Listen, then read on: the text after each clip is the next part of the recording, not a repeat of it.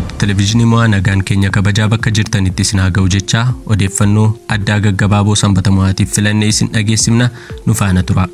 Qophiin kalaqaan aartii jedhamu kan intarteementii kalaqaaniin qophaa'u marsaan lammaffaan giddugala aadaa Oromootti torbee darbe geggeeffame. Uummanni Oromoo uummata baay'ee afaanii fi aadaa mataa isaa qabaachuun Afrikaa keessatti beekaman keessaa isa tokkodha. Gama aartii fi kalaqa mataa isaan jiraachuunis akka adda dureetti saba maqaa dhahuun danda'amudha. Haa ta'u malee sabichi qophiilee fi taateewwan aartii guddummaa isaa madaalan dhabuun rakkoo ulfaataa ta'aa tureeras jedhame. Dhiyeenya kana qophii aartii ji'a irraa gara ji'aatti intarteementii kalaqaan jedhamuun eegalame garuu agarsiiftuu abdii aartii Oromoo gara fuula duraa ta'uu akka danda'u dubbatameera. Ji'ootaan dura tokko jedhee qophii isaa kan eegale kalaqaan sanbata darbees marsaa lammaffaa itti fufuun geggeesseera. Marsaa lammaffaa kana irrattis qabiyyeewwan haarawaa qabate kan dhiyaate ta'uu qindeessaan qophichaa galataa ijaaraa dubbate.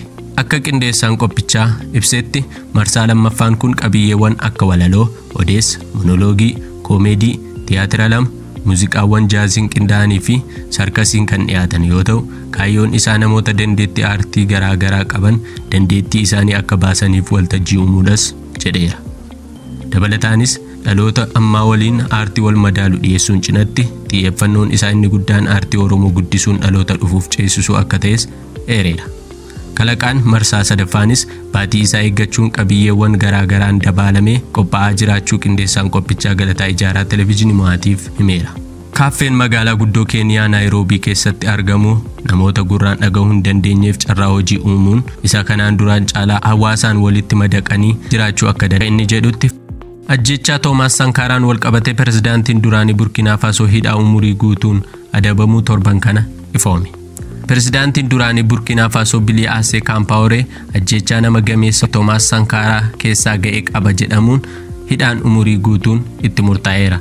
Toomaas Sankaaraan umurii waggaa 37 agarsiisa bara haaraa fi achi as dhufa kakuu moofaa kan agarsiisudhas jedhame. Qorannoon kun akka mul'isutti kibxata darbee qorataan Scott Stripling jedhamu kan dhaabbata qorannaa seemineerii keetii Teeksaas keessatti argamu akkuma amala isaa meeshaalee isaa qabatee qorannaa isaa irra osoo jiru taabileetii bal'inni isaa saantima lamaa fi dheerinni isaa immoo saantima tokko dheeratu argachuu danda'eera. Taabileetiin kun qubeewwan afurtama kan macaafa ibrootaa keessa jiruu fi ibsi isaa immoo macaafa iyyaasuu boqonnaa saddeet lakkoofsa soddoma irratti waan iyyaasuun tulluu eebaal irratti raawwate akkasumas seera keessa deebii boqonnaa 27 lakkoofsa 15 hamma 26tti of keessatti qabatee kan turedha. Kunis Israa'eloonni waaqa tolfamaa tolfachuu isaaniin fuula waaqayyoo duratti ciiggaamuu isaanii kan ibsu akka ta'es ragaan argamee mul'isa.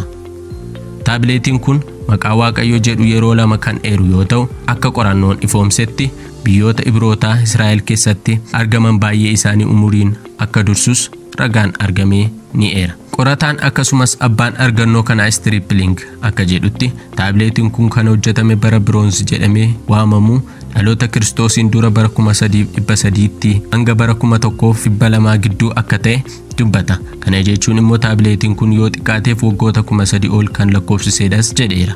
Maddi oduu kanaa Kiristiyaan Niwus irraati. Haguugduu afaanii guddaan yeroo duraaf rikkeerdii qabate hojjetame. Dhaabbanni biyya ta'iiwwan meeshaalee yaalaa adda addaa dhiyeessuun beekamu haguugduu afaanii yookaan maaksii guddaa addunyaa kanaa dheerinni isaa inchii sadii bal'inni isaa immoo inchii sagal ta'uu oomishuun sadarkaa duraa qabateera.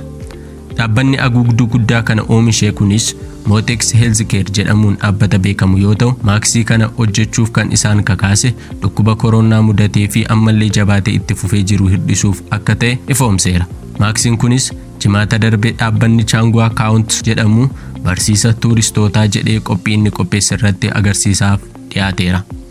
Qaamni qindeessaan riikoordii jiineesii addunyaa biyya London irra taa'uun karaa viidiyoo chaat qophicha hordofaa kan ture yoo ta'u maaksii kanas maaksii guddaa addunyaa jechuun galmeessuu danda'eera. Maaksii yookaan haguugduu afaaniin guddaan kunis maaksiiwwan kanaan dura barataman gabaarra jiran harka shantamaan kan caalu ta'uusaas dubbatameera. Dhaabbatichi akka ibsutti yaadni maaksii yookaan haguugduu afaanii guddaa kana hojjechuu kan eegale bara 2020tti yoo ta'u kunis barbaachisummaa haguugduun afaanii dhukkuba covid-19 hir'isuuf qabu addunyaatti mul'isuuf akka ta'es ifoomseera yuunaayitid pirees intarnaashinaal irraa odeeffanne. Daawwattoota keenya odeeffannoo sanbatamaa torban kanaa kan isin biraan gahaa ture ani abdii oliiqaa yoon ta'u torban odeeffannoowwan kan biroon haga walitti deebinutti torbeen torbee eebbaa isiniif haa ta'u nagaatti.